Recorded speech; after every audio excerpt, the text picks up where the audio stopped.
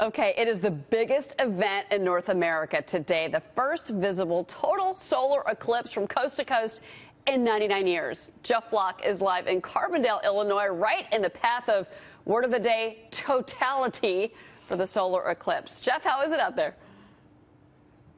Cheryl, I just love this. You know, with all the news that we've had the last, uh, however, you know, since the presidential election, I just love that nature is making its its uh, its headlines today. I'm in Saluki Stadium, which is actually Eclipse Central. There are 15,000 people that will be packing the stadium. They've all bought tickets. It is going to be uh, an incredible event. Out on the uh, the field, there are going to be people launching weather balloons. There'll be presentations, a big video board. Uh, it's crazy because this doesn't happen that often. Well, actually, in some ways, eclipses do happen. You take a look at the map where it's happening when. The, the key on this one is that this is, we believe, the first time there has ever been an eclipse visible only in the U.S. in U.S. history hadn't been uh, one that's gone coast to coast for 99 years, uh, and today it will.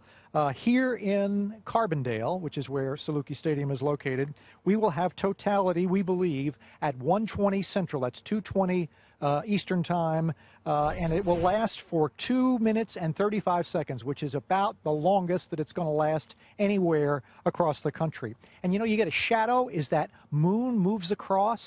That shadow as that moon comes into the uh, uh, position of total totality, as they call it, that shadow will move at 1,800 miles an hour. And those people that have seen it, you can imagine how fast that shadow is going to whip past us here in the stadium.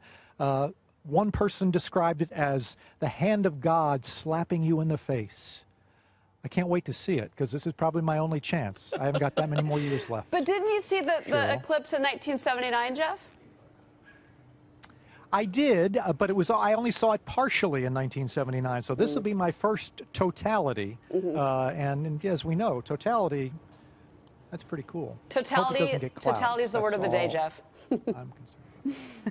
Jeff Flock. All right, he's going to be out there, by the way, all day for Fox Business doing live reports, of course, through the solar eclipse. Let's